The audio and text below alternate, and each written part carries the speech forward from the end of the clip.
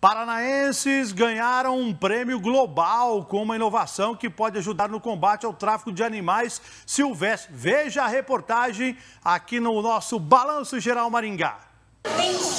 Elas são lindas e barulhentas. As araras chamam a atenção de adultos e crianças. Eu nunca tinha visto antes, assim, sabe? O que, que achou? Muito lindas.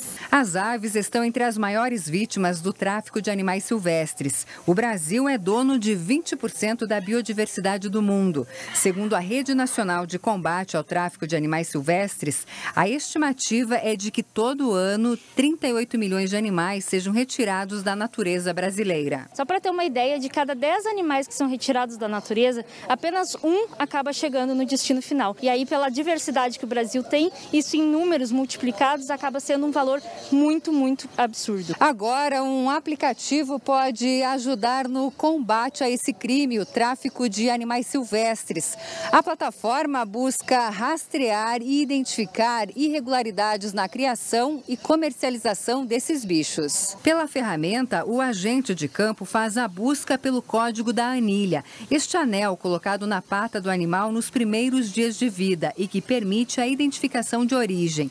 Assim, é possível conferir se os dados da ave batem com as informações da nota fiscal. O fiscal vai estar lá no campo, vai consultar a anilha e vai saber se aquele animal é procedente ou se ele é um animal esquentado, vai trazer todas as informações. Você vai ter informação do nascimento dele, vai ter informação da, da empresa que, que comprou o animal e vai ter informação também do do, do proprietário do animal. A tecnologia foi criada por este grupo do Paraná. A inovação ganhou o primeiro lugar global no Zoo Hackathon, uma competição internacional coordenada pelo Departamento de Estado dos Estados Unidos, que tem como objetivo criar soluções para combater o tráfico de animais. O grupo concorreu com 60 soluções de 53 países. O prêmio que eles receberam também foi muito importante. Eles receberam 20 mil dólares em crédito da Microsoft, que pode viabilizar a solução mais rápido, né? Então eles têm todo o aparato tecnológico agora para colocar a solução em andamento.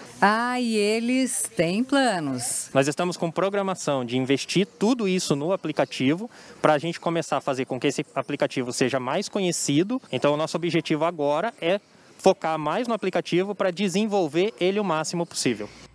Tá aí um grupo de amigos que criaram o aplicativo, viram como é que ia funcionar, escreveram e ganharam o prêmio. Que legal, parabéns. E aí, ó, os animais têm as ilhas, né? E aí você entrando, você consegue saber toda, é como se fosse um, um geral aí, desde o